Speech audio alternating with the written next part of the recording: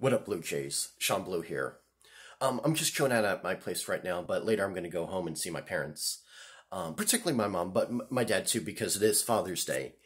And for those who, you know, wasn't raised by their father, maybe raised by their grandparents or their grandma or just their mother, then spend that time with them. Make sure you say that you love them and spend that time with them. Um, like I said, I'm going to see my mom and dad today. Why, you know, but um, so yeah, we might we're gonna watch some movies that he want to watch, maybe or like one movie, and we're gonna have some pizza and stuff. But um, yeah, go out there and spend time with loved ones, and just have a good time.